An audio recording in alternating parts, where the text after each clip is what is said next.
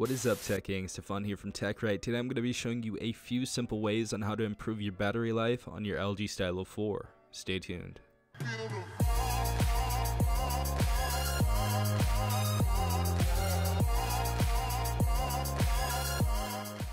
Alright guys, let's go ahead and get into it. The first thing that I actually look at uh, when saving battery life in really any circumstance is Wi-Fi and if you see over here location. Now a lot of the time you know i have family members that actually have wi-fi on when they're outside the house and it's going to be constantly actually looking for a, a connection to connect to the wi-fi. So if you guys actually want to save a lot more battery life you can turn that off every single time you leave the house. I know some people forget but if you do remember turn that off and use your regular data because obviously if you have the wi-fi on it's going to be continuously looking for um, different connections to connect to and that's going to be wasting your battery life.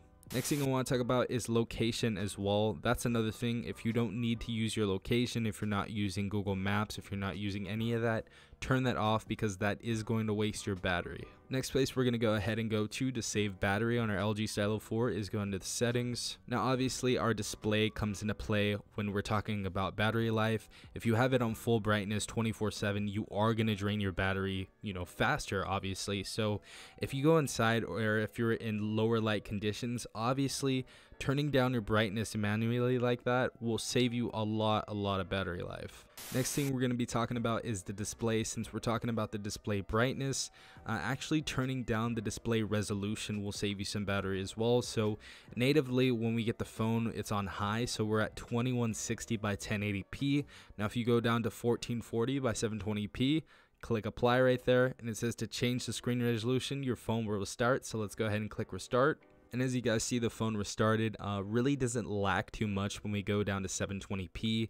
Honestly, I can't tell the difference between 1080p and 720p either way, um, but we are going to save a lot more battery life in the long run. Next thing is going to be in the settings, so let's go to settings, and this time it's actually going to be in battery. I know surprising, we didn't even go into this. So a few quick tips you know a lot of people actually don't have this on so they don't see the percentage if you guys want to have that on you have to click turn on percentage and you're going to see your battery percentage at the top of your phone right by the time and right in between your data as well. And the last thing I want to take a look at is actually a battery saver. Now this is under the power saving tab right here. Obviously, we're going to want to click on battery saver and right here it says extended and it says maximum. It says extend your battery life when the battery gets low.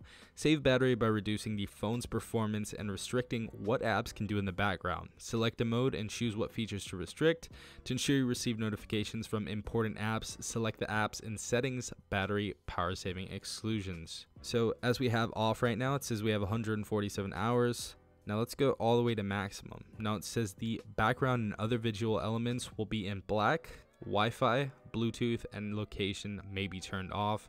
Now those are the three big things that I was talking about before that if you turn off is going to save you a lot of battery. So let's go ahead and turn this maximum mode on.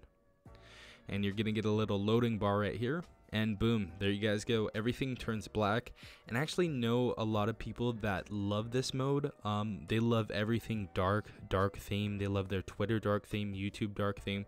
They like all of that. So i know a lot of people who actually like themes like this. You know if this is your cup of tea either way then you can just leave this on and you can you know have a phone that's a battery beast. Last quick tip i want to talk about is just basically a you know this is really for any phone any phone that you get in the future um, and this is very very prominent in budget phones because you know the batteries in budget phones aren't always the best. I mean you pay for what you get inside of a budget phone but to actually make your phone's battery last longer because believe it or not the battery is probably the first thing to go on one of these budget phones uh, as it has been in the past on other budget phones that i've used. But if you actually want to save a phone and make it last longer let it age longer instead of that one or two years maybe you want it for three or four years. You're very low on you know on funds and stuff for phone and you just want it to last. Well a lot of the time people love to have their phone at 100% um, always and uh, i know that's my pet peeve too. I hate when it's under 100% i never want to leave my house if it's under 100% Um, but the thing that you have to understand is you have to let your phone drain out. You know, if you go ahead and plug your, you keep plugging your uh, phone in and it's charging back, it's gonna ruin your battery. I know people that will charge up to 100 and it'll drain down to like 90 and they'll plug it back in or whatever. Don't do that. That's gonna mess up your battery in the long run. Uh, honestly, I would let it run down to 30. If it's an emergency, obviously plug it in, but um, don't charge back your battery because you will mess it up in the long run. But yeah, I hope you guys enjoyed this video. If you did, please leave a like down below as well subscribing if you guys are not a part of the tech gang already. Also hit that notification bell if you guys want to be notified every time I do upload a video. Without further ado, this has been Stefan from TechRight. Peace out, Tech Gang.